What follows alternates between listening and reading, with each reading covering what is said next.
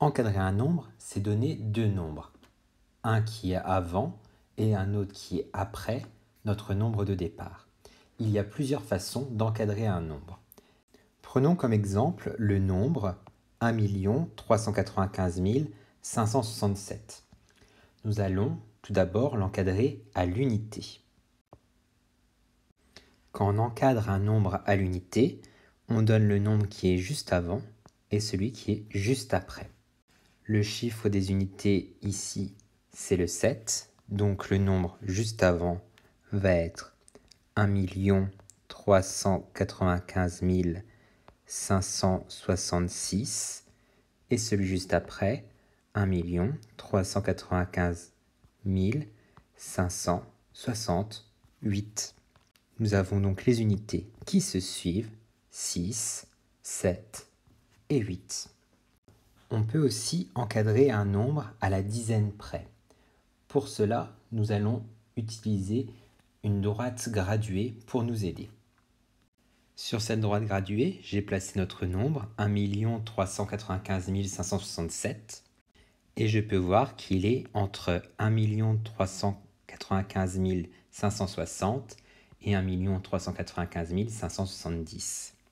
Quand je vais encadrer un nombre à la dizaine près, je vais donc prendre le nombre qui aura un 0 dans les unités qui est juste avant et celui qui a un 0 dans les unités qui sera juste après.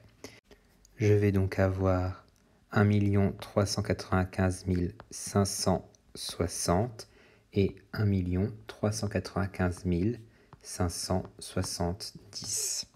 Cette fois-ci, le chiffre des dizaines avant est le même que celui de notre nombre. Sur le même modèle, nous allons essayer d'encadrer notre nombre 1 395 567 à la dizaine de milliers près. Pour cela, nous allons chercher le chiffre des dizaines de milliers. Donc, dans les classes des unités, nous avons unité, dizaine, centaine. Je passe à la classe des milliers, unité, dizaine. Le chiffre des dizaines de milliers est donc ici le 9. Quand nous avons encadré à la dizaine près, nous avions le même chiffre à gauche, avant et dans notre nombre. Nous allons donc faire la même chose. Je commence à copier le nombre, je m'arrête à la dizaine de milliers et je complète par des zéros. Le nombre d'avant sera donc 1 390 000. Pour trouver le nombre d'après, je vais ajouter une dizaine de milliers.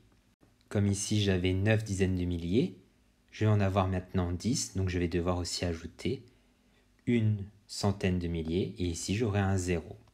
Donc ça va donner 1 million 400 000. Bien d'autres encadrements sont possibles. Il faut bien faire attention à la consigne pour savoir ce qui nous est demandé exactement.